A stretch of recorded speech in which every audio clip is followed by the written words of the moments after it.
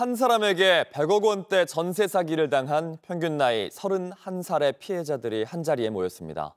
정부가 악성 임대인의 명단을 공개하고 있지만 피해 규모를 고려하면 공개된 이름 많지 않습니다. 정아람 기자입니다. 청년의 미래 전세 사기 문제부터 제대로 해결하라. 경매 유예 서울 신촌 대학가 등에서 임대인 최모 씨에게 전세 보증금을 돌려받지 못한 피해자들이 한 자리에 모였습니다. 이들의 평균 나이는 31살, 총 피해 금액은 100억 원이 넘습니다.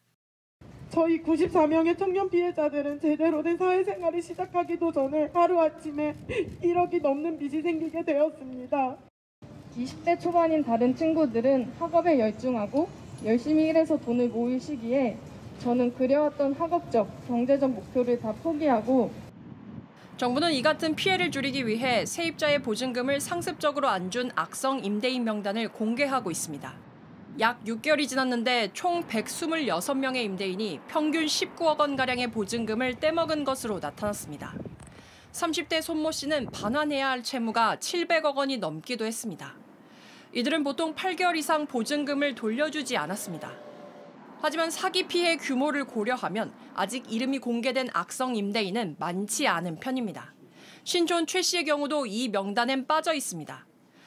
전세 보증 사고는 올해도 계속돼 지난해 같은 기간보다 65% 늘었습니다. 정부는 과거에 보증금을 가로챈 임대인까지 법을 소급 적용해 명단 공개 범위를 늘리는 방안을 검토 중입니다. JTBC 정아람입니다. 아침엔 앵커 정재우입니다. 지금 이 기사 가장 먼저 매일 아침 7시 반에 보실 수 있습니다. JTBC 뉴스 채널을 구독해 아침엔과 하루를 시작하세요.